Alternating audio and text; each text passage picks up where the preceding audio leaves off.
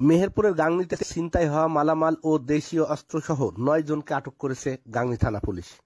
আটককৃতদের মধ্যে ছয় জন ডাকাতির সাথে সরাসরি জড়িত এবং বাকিরা ঘটনার সাথে পরোক্ষভাবে জড়িত বলে জানা গেছে। আটককৃতদের বাড়ি মেহেরপুর ও চুয়াডাঙ্গার বিভিন্ন গ্রামে। বুধবার ও বৃহস্পতিবার দুই দিনে গাংনী থানা পুলিশের একাধিক দল তথ্য প্রযুক্তির সহায়তায় তাদেরকে আটক করে। এ সময় ছিনতাইকৃত মালামাল ও ছুরি উদ্ধার করা হয়। গাংনী থানা সূত্র জানায়, গত নয় ফেব্রুয়ারি দিবাগত সন্ধ্যা রাতে গাংনী উপজেলার বাঁশবাড়িয়া চিতলা সড়কের চিতলা গ্রামের বাসিন্দা কামরুজ্জামান সহ তার পরিবারের তিন সদস্যকে ডাকাত দলের সদস্যরা বেঁধে রেখে মোবাইল ফোন, মোটরসাইকেল ও স্বর্ণ অলঙ্কার ছিনিয়ে নেয়। ওই ঘটনায় জড়িতদের আটক করা হয়েছে। একজন মোটরসাইকেল আরোহী তার বাচ্চা এবং স্ত্রী নিয়ে যাচ্ছিল।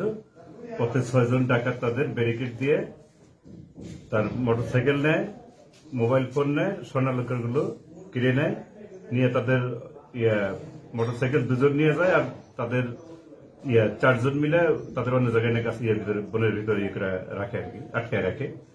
পরবর্তীতে, ইয়া, আপনার দশ তারিখে মামলা হয়।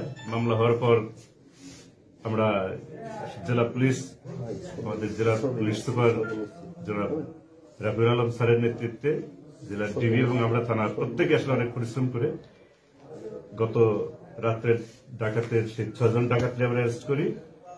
ইয়ে ডাকাতি করা মোটরসাইকেল স্বর্ণালঙ্কার মোবাইল ফোন এবং যে ছোড়া যে চাকু যেগুলো দেখিয়ে তারা ভয়ভীতি প্রদর্শন করে ডাকাতি করেছে, এর কাজে ব্যবহৃত সেটা উদ্ধার করেছি।